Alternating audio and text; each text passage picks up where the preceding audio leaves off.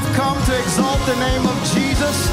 His name is high and lifted up, and He is a holy God, and He's worthy of all of our praise this morning. Worship with us.